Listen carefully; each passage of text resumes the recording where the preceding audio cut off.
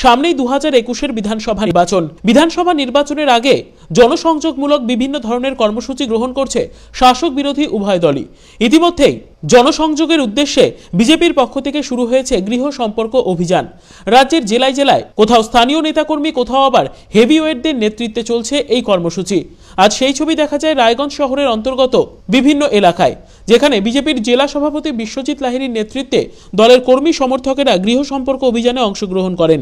কেন্দ্রীয় সরকারের বিভিন্ন উন্নয়নমূলক প্রকল্পের খতিয়ান তুলে ধরে চলে প্রচার কর্মসূচি। আসন্ন বিধানসভা নির্বাচনে সরকার গড়বার লক্ষ্যমাত্রা নিয়েই এদিন জোরদার প্রচার চলে বিজেপির পক্ষ থেকে। এরই পাশাপাশি গৃহ সম্পর্ক অভিযানের মাঝে রায়গঞ্জ শহরের দক্ষিণ মণ্ডলে প্রায় ছেচল্লিশ জন বিজেপিতে যোগদান করেন বলে দাবি বিজেপির উত্তর দিনাজপুর জেলা সভাপতি বিশ্বজিৎ লাহিড়ীর। সকলের হাতেই দলীয় পতাকা তুলে দেন তিনি। জেলা সভাপতি ছাড়াও এদিনের কর্মসূচিতে উপস্থিত ছিলেন দলের জেলা সম্পাদক প্রকাশ প্রস্তি সহ অন্যান্যরা। Hirak Mukherjee report, Kulik news, Raiganj.